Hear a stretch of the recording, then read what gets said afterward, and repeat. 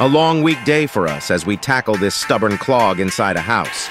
As we were drain cleaning and trying to jet the line, we found out that nothing was moving. So we decided to take the drain camera out, locate the line, and cut it open. This is what we found inside the pipe. All paper towels. Okay, so first we thought it was root infestation because there's a lot of roots. Turned out to be all paper towels. I can find that bucket. The whole pipe was filled with paper towels.